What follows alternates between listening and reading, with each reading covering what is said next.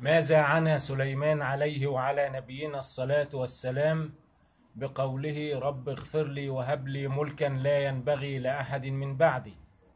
فظاهر هذا طلب الانفراد بهذا الملك.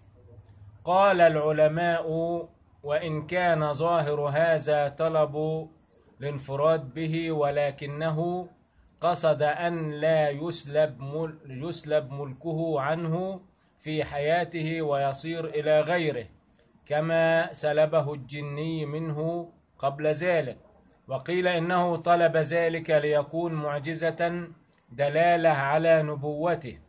ويؤيد ذلك قول الرسول صلى الله عليه وسلم عندما ربط الجني في سارية المسجد لولا أنني تذكرت قول أخي سليمان لتركته لصبيان المدينة يتلاعبون به.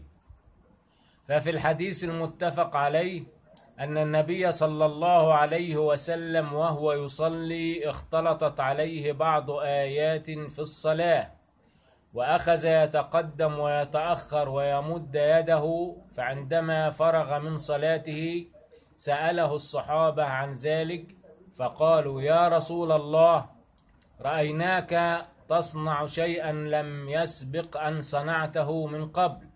قال نعم جاءني شيطان وأنا أصلي بشهاب من نار يريد قذفه على وجهي وأنا ألعنه بلعنة الله وأنا ألعنه بلعنة الله وأقول له أعوذ بالله منك وهو يأبى إلا الإصرار فقبضته وشددت عليه حتى وجدت برد ريقه في يدي.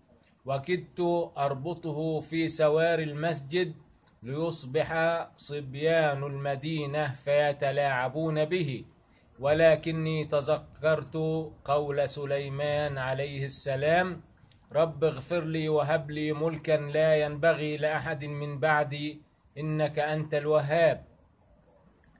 وقال أبو حيان يرحمه الله تعالى ويرحمني لم يقصد بذلك إلا عظمة الملك وسعته كما تقول لفلان ما ليس لأحد من الفضل والمال وربما كان للناس أمثال ذلك ولكنك تريد تعظيم ما عنده والله تعالى أعلم.